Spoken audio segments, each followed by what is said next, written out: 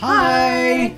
I'm Faye Mailerdat. And I'm Martin Mailerdat. We've been married forever, and together we are indie dev duo Imaginary Friends Games. We released Shindig, our debut title, six months ago, and though it hasn't been a smash hit financially, folk who played it have really vibed with it. A bunch of indie reviewers recommended it in their holiday gift guides or their Game of the Year lists for 2021.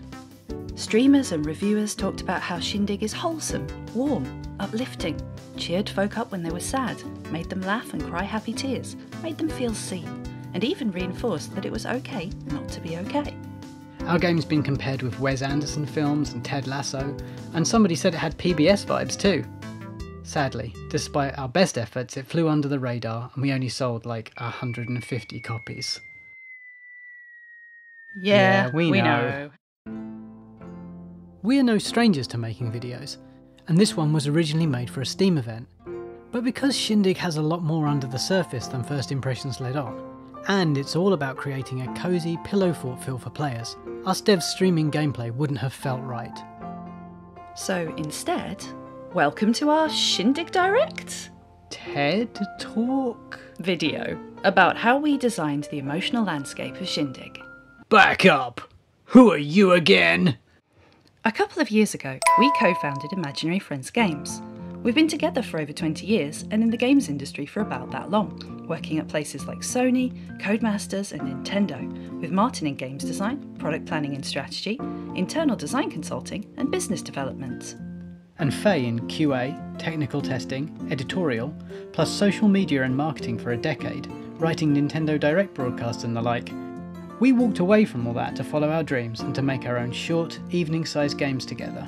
Because after a while, you realise your bones are turning to dust and you want to make something that matters. When we left Nintendo, we had a bunch of great skills under our belts, but there were parts of making games we'd never touched before, and we were going to need all of those to make our own games.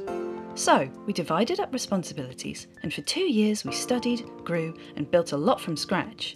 And in September 2021, we released our debut title, Shindig. What is Shindig? With a bundle of jokes and hope. It's an adventure game about compassion and how a little kindness can make all the difference in a world full of hurt. It's a funny, feelsy, fully voiced narrative adventure in point and click clothes.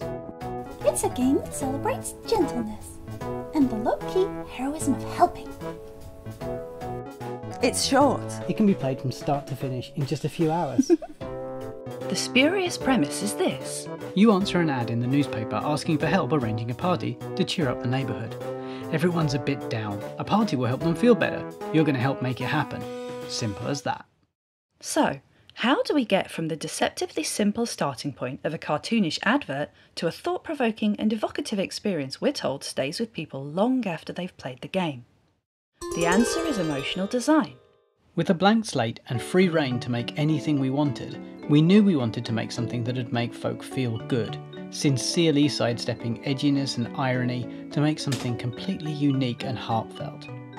But, as Tracey Thorn once said, The problem with irony is it assumes the position of being the end result, from having looked at it from both sides and having a very sophisticated take on everything. So, the danger of issuing irony is you look as though you just haven't thought hard enough about it and are just being a bit simplistic.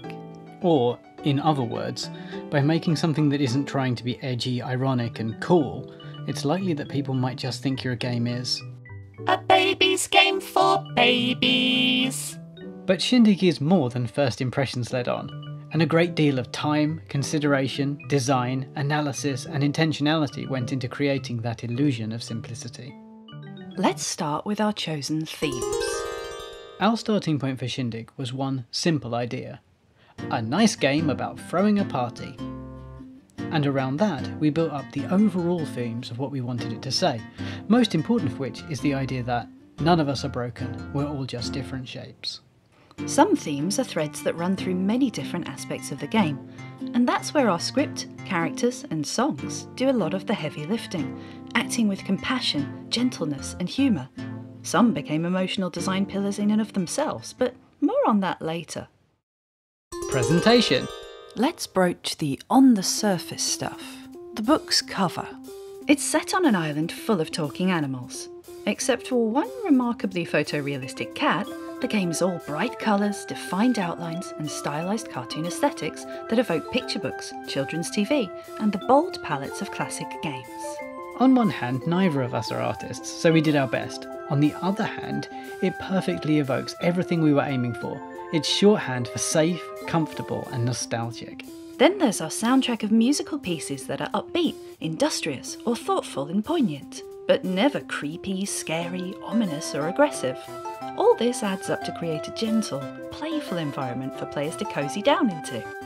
On top of this, our fully voiced game is almost, but only almost, fully voiced by Faye, harking back to the times when someone might read you a bedtime story With voices and everything! to close out the day. We kept the control system simple, so it's not you against the interface. Just click to interact with something and drag items from your inventory to use them. Here, simple is elegant, and anything more would complicate or obfuscate the story we wanted to tell. In terms of tone, we shoehorned in plenty of surreal humour to make Shindig as joyful as we could muster. While we touch on some really serious topics in the game, humour is a great equaliser, and oftentimes, folks are more relaxed and receptive if you can make them laugh and forget their worries for a hot minute. Inclusivity.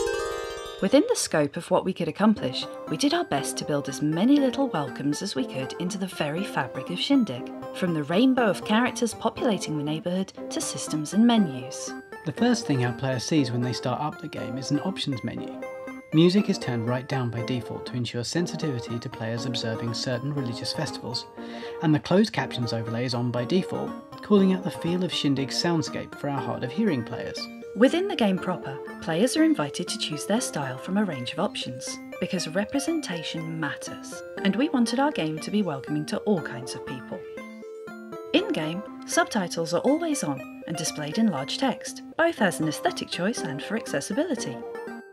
Our cast is a diverse set of folk we'd like to be our friends, and we hope players feel that way too. Remember, representation matters. Classic point and click games were always more about the people and places for us, so we designed Shindig's puzzles not to be too hard. Our goal was to emphasise the wonder of discovery and allow gentle puzzle solving to offer more of a framework for exploration. This way, people of all ages and ability levels can enjoy our game. Even the price was designed with players in mind, bargainous for a game with such production values, offering 3 to 4 hours of play and low enough to be accessible to lots of players. But it looks like a baby's game for babies. Well, Shindig's not designed for kids, but there's no tonal bait and switch, and there are no swears or scares that might preclude the younger audience from enjoying the game along with their fam. We were aiming for what we call the Pixar effect, where kids can enjoy on one level, adults on another, and everyone can take something wonderful from it. Shindig's just vibes all the way down. In the adult world, gentle messages of kindness aren't communicated very often, almost like we're supposed to tacitly accept that things like compassion, hope, and joy are only for kids somehow. But we believe that kindness isn't just for children, it's for everyone, and so is Shindig. Choice architecture. One of the ways you can structure your player's experience is with choice architecture. By defining the actions your players can take at any time, or the conversation options available to them, you set the tone for their experience and communicate what you consider to be important. It's a common trope for the player character to be sarcastic or kind of mean in games of the genre. Whereas in Shindig, you literally couldn't be a douche to your new animal friends if you wanted to. Instead, you progress via being compassionate and helping out your new neighbours. Another common aspect in games that control like Shindig is that you kind of bounce around the world picking up anything that isn't nailed down, stealing stuff from people's houses. Or, if they don't want you to touch their stuff, playing nasty tricks on the NPCs so that they're distracted, and then you steal their stuff. In Shindig, one of our themes is the importance of consent. If you take an item from somebody, it's because they've given it to you freely. We also have a character called Milo, who'll offer you a hug, and whether you say yes or no, he's happy, whichever course of action you choose. Community.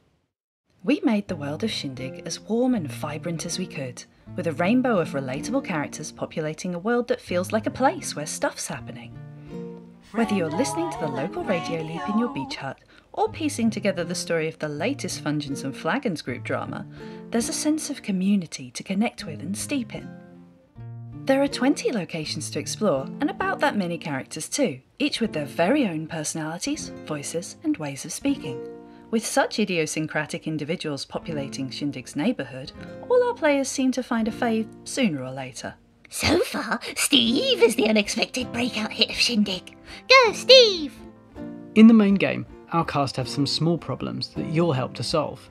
And once you've helped each character out, you can get to know them better by hanging out together. Which brings us on to connection. Throughout the game, many members of our cast talk about their mental health, just dropping it into conversation, because it doesn't have to carry stigma or be kept secret. Looking after the weather in your head is a normal part of everyday life. Building trust with your new friends, of course, means they might share more with you on some deeper emotional topics too. In Unlockable Hangouts, you'll find discussions of invisible illness, burnout, bullying, and more. And while you'll be invited to empathise, at no point will you be asked to fix your new friends, because they're not broken. By creating a gameplay loop where you progress by being kind, we create a low key hero in each and every player, with the very available superpower of holding space for people and showing compassion. Because we hoped that players would connect with the game, we built in that, spoilers, you go to the titular shindig, and there's even a post game chapter where your new friends will thank you for all your hard work. Calm. We used to joke that Shindig was a talking simulator or a mooching sim, because it's more about moseying around a cool island, chatting to folk, and being chill than anything else, and we built this into the bones of the game. Our spurious premise is designed to take the pressure off. You're not saving the world, though your actions might change someone's world for the better. And there's only one ending the good ending, so there's no need to stress about choices. The point and click interface is easy to master, and the speed of the main character is set so that players can spot details while they're exploring, rather than zipping by and missing something. We also built in locations like the waterfall and the gardens, where you can sit down for a spell, take a load off, and listen to the sound of the waves or the birds singing. And while you don't get any achievements for doing so, you could be rewarded by seeing something special you might otherwise have missed. Just like in real life. And there you have it how two depressed developers made a joyful, wholesome, uplifting game called Shindig using emotional design. Thanks for watching. We hope you'll give Shindig a try. It's on sale right now for the price of a burger. Treat yourself. We hope you have an awesome day. Take care now. Bye.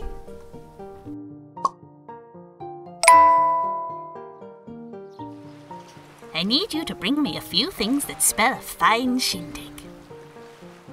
If it's all right, I'd like to deliver the deets via the gift of song. Sing it, Piggy. Gonna have ourselves a shindig, putting on my banging tunes, decorated up real bright, have a little cake too. Gonna have refreshing A feeling so fine. Gonna have ourselves a shindig, shindig. Everybody at the shindig. Did you get all that?